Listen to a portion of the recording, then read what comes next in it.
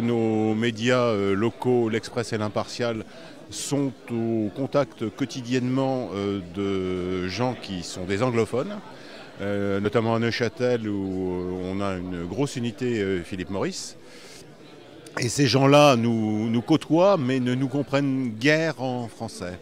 Et donc on, a jugé utile de participer à leur intégration en participant à cette formule et en leur apportant euh, notre contribution à l'information locale neuchâteloise qu'ils ne perçoivent pas encore aujourd'hui.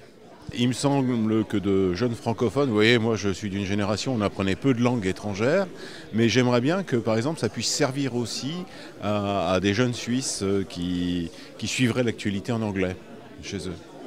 En plus de, évidemment de la communauté euh, anglophone.